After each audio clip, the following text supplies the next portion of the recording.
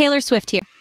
Excuse my voice being a little off. I've been recording lots of these as my side hustle. We've been through a lot together, and now it's time to give it our all. Every single one of you has what it takes to be great. Let's go out there and show them what we're made of.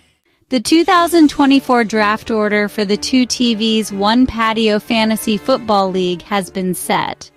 From last to first, we will announce the order. Sorry, Alyssa, you are drafting 12th. Holly is 11th. 10th is Kevin. 9th is Win. Ellen is drafting 8th. 7th is Steven. In the top half of the draft, we have Katricia at 6. 5th is Mike, who we must collude against so he doesn't win again. 4th is Kenji. Jared Goff is 3rd, I mean Ed. Ed is 3rd. With two spots left, runner-up is the Freels. This means Trevi gets the first pick in 2024. Good luck to all. Winner gets to be one of my backup dancers. Whoa, those gummies really kicked in.